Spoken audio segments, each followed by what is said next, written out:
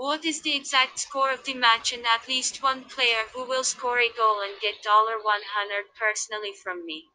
Leave the answers in the comments. Subscribing to the channel and liking the video are also required.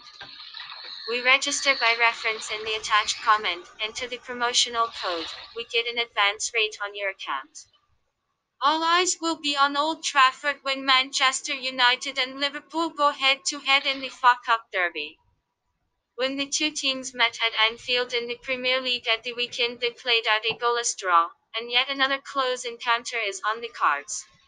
Almata, Lingard, Gaines, and Van de Beek are pushing for a start, with Greenwood likely to lead the line for the hosts.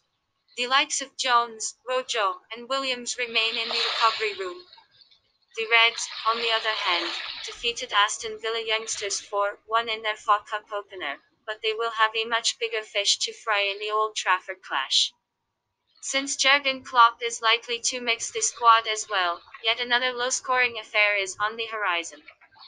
Minamino and Oxlade-Chamberlain are both pushing for a start, while Gomez, Jota, Keita, and Van Dijk remain on the sidelines. This match will be played on 24/01/2021 at 20 o'clock. Prediction 1-1